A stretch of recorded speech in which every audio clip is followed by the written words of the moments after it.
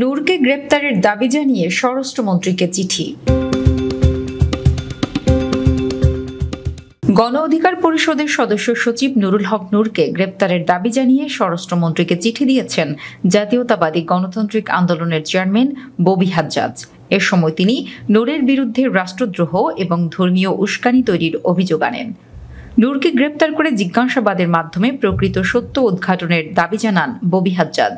একই সঙ্গে ইসরায়েলের গোয়েন্দা সংস্থার সঙ্গে নূরের গোপন আদাতের অভিযোগ এনে গণ অধিকার পরিষদের নিবন্ধন প্রদান না করতে নির্বাচন কমিশনে চিঠি দিয়েছে এনডিএম। আজ রোববার বিকেলে রাজধানীর মালিবাগে এনডিএম কেন্দ্রীয় কার্যালয় নূরকে গ্রেপ্তারের দাবিতে আয়োজিত এক সংবাদ সম্মেলনে এসব তথ্য জানান দলটির চেয়ারম্যান ববি হাজ্জাজ। লিখিত বক্তব্যে তিনি উল্লেখ করেন, গণমাধ্যম নিজ দলের শীর্ষ পর্যায়ের নেতারা এবং ফিলিস্তিনের রাষ্ট্রদূতের বক্তব্যের সূত্রে প্রমাণিত হয়েছে, ইসরায়েলের গোয়েন্দা সংস্থার এজেন্ট হিসেবে চিহ্নিত মেন্দি সাফাদির সঙ্গে গোপন বৈঠক করেছেন নুরুল হক নূর। ববি হাজ্জাজ বলেন, আশ্চর্যের বিষয় হল, এত স্পর্শকাতর বিষয় এখন পর্যন্ত স্বরাষ্ট্র মন্ত্রণালয় বা গোয়েন্দা সংস্থাগুলো কোনো পদক্ষেপ নেয়নি। তারা পরিষ্কারভাবে বলতে চান, দখলদার রাষ্ট্র এবং মুসলিম উম্মার পরিষ্কার শত্রু ইসরায়েলের প্রতিটি আগ্রাসন এবং পদক্ষেপের বিরুদ্ধে তাদের দল।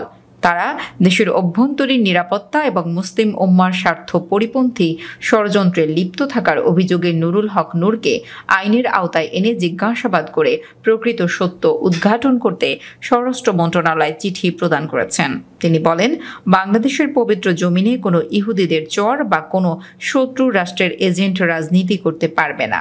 নূরের অর্থের উৎস কোথায়? বিলাসবহুল মধ্যপ্রাচ্য সফরে কে বা কারা তাকে অর্থ প্রদান করেছে? এর উদ্দেশ্য যদি হয় ইসরায়েলের গোয়েন্দা সংস্থার সঙ্গে বৈঠক, তাহলে নূর এবং তার সহযোগীরা সবাই দেশের এবং মুসলমানদের শত্রু। এ সময় এনডিএম এর যুগ্ম মহাসচিব মমিনুল আমিন, সাংগঠনিক সম্পাদক লায়ন নুরুজ্জামান হীরা, যুগ্ম সাংগঠনিক সম্পাদক জাবেদুর রহমান সহ দলের বিভিন্ন পর্যায়ের নেতাকর্মীরা উপস্থিত ছিলেন।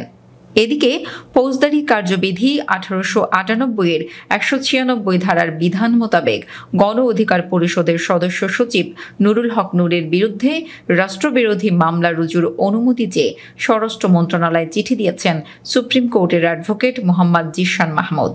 আজ রোববার স্বরাষ্ট্র মন্ত্রণালয়ের জননিরাপত্তা বিভাগের জ্যেষ্ঠ সচিবের দপ্তরে এ চিঠি দেওয়া হয়।